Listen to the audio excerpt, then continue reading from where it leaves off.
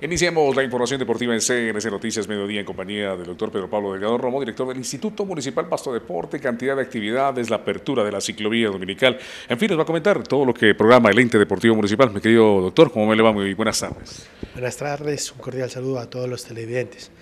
Sí, este martes 20 de febrero, a partir de las 9 de la mañana, nos hemos articulado con la Alcaldía Municipal, la Gobernación, el Instituto Colombiano de Bienestar Familiar, para desarrollar una campaña presente contra el trabajo infantil. Vamos a trabajar actividades lúdicas, recreativas, con todos los chicos, mandando un mensaje a los padres, el derecho que tienen los niños para que estudien. De igual manera, en el Salón de San Andrés Vamos a dar los obsequios a todas las instituciones educativas del sector público y privado que cumplieron la meta predeterminada en el programa Supérate Intercolegiado. Y este domingo 25 de febrero, a partir de las 8 de la mañana, vamos a hacer el gran lanzamiento de todos los programas del Instituto Pasto Deporte, de actividad física, recreación, deporte, adulto mayor, campamentos. Quiero invitar a todas las personas a que nos acompañen este 25 de febrero al ciclopaseo 12 kilómetros para dar apertura a la ciclovía dominical. De igual manera vamos a trabajar un Vive tu Carnaval con adulto mayor, discapacidad y vamos a tener algunas exhibiciones deportivas en la Plaza del Carnaval. Muy bien, cantidad de actividad entonces para este fin de semana y lo que ha programado en esta semana el Instituto Municipal Paso Deporte. Vamos a tener la referencia precisamente de eso, pero hablemos de Deportivo Pasto y lo que prepara para esta noche precisamente su compromiso frente a Seguro La Equidad en el Estadio Libertad. Deportivo Pasto está listo para recibir la visita de Seguros La Equidad en el desarrollo de la tercera jornada de la Liga Águila Colombiana. El conjunto nariense no presentará mayores novedades para recibir al cuadro capitalino este martes en el Estadio Libertad. Eh, nos damos cuenta que también hay equipos que nos, que nos van a esperar y nos van a contraatacar. Puede ser mañana un partido muy parecido a ese. Pero pues esto, la idea es tratar del máximo de, del local sumar los tres puntos. Yo creo que a lo de visitante es tratar de poder arañar, como decimos nosotros. De conseguir la victoria, Deportivo Pasto se incluiría en el grupo selecto de los ocho mejores de la Liga Águila Colombiana. Que es un equipo de cuidado, un equipo con, con experiencia eh, en la mitad de la cancha, Fabián, Maecha, Mota, jugadores rápidos como Baloyes que, que juegan muy bien, el caso de, de, Pacheco que es una salida constante por derecha. De todas maneras ellos eh, están en un clima también muy parecido al, que, al de ellos, eh, seguramente va a ser un partido de dos equipos necesitados que tienen la obligación de, buscar un resultado importante. Se aspira a que Deportivo Paso retome el buen fútbol y nuevamente la regularidad en la parte individual y colectiva.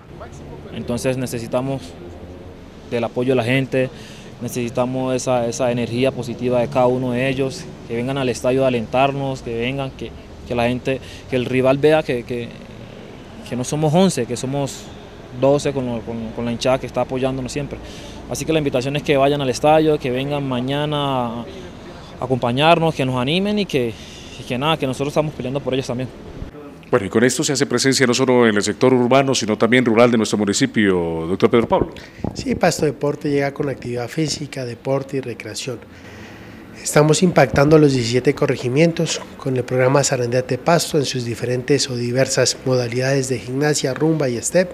De igual manera, estamos presentes con el programa de campamentos juveniles, donde buscamos formar líderes entre edades de 17 a 28 años. También tenemos el programa de escuelas deportivas, donde la mayor demanda es el fútbol, el voleibol y el micro.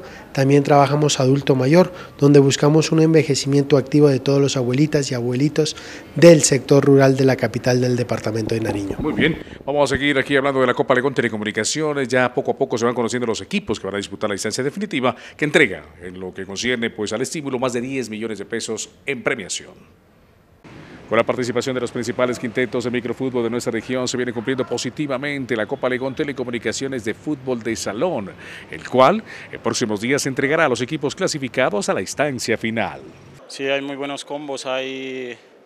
ha jugado, estado jugando gente profesional aquí en ese campeonato, es un campeonato muy excelente. Sí, eh, o sea, en el deporte hay, hay muchos equipos ¿no? que vienen a jugar, eh, excelente, excelente, el deporte es excelente. Los representativos que están interviniendo en esta etapa del torneo vienen ratificando su excelente condición en la parte táctica y colectiva. Pues el arbitraje un poco complicado, Eh, dos veces nos metió la manito ahí, se esperaron ver despacio ahí que dos veces pues complicó el partido y dos veces nos, nos cobraron dos, dos golcitos que nos, nos faltaron a lo último. Hay que resaltar que la empresa Legón Telecomunicaciones entregará más de 10 millones de pesos en premios a los equipos que se ubiquen en las posiciones de honor. Mm, sí, un cordial invitación a toda la gente que le gusta el microfútbol y que venga a apoyar al microfútbol pastuso. Bueno, le invitamos para que vengan a, a concursar en el torneo CNC, uno de los torneos los mejores de aquí de Paso, en el Coliseo. Doctor, muchas gracias y reiteremos la invitación para que este fin de semana se programe toda la ciudadanía de Pasto y participe activamente de lo concerniente a esa convocatoria del Instituto Municipal Pasto de Deportes. Sí, quiero invitarle e informarle a toda la comunidad que a partir de este domingo vamos a tener ya activa la ciclovía dominical de 8 a 12 del mediodía. Quiero invitarlos a que nos acompañen en el ciclopaseo, en el Carnaval de la Vida. Quiero invitarle a todas estas actividades de recreación, deporte, que se han programado este 25 de febrero en la Plaza del Carnaval a partir de las 8 de la mañana. Nos hemos articulado con algunas entidades del sector privado donde vamos a obsequiar algunos premios sorpresas con todas las personas que nos acompañen a este magno evento. Muchísimas gracias, doctor Pedro Pablo. Muchas gracias, Dios los bendiga. Muy bien, el director del Instituto Municipal Paso Deporte aquí en la información deportiva de CRC Noticias. Termina los deportes. Ustedes quedan con más información.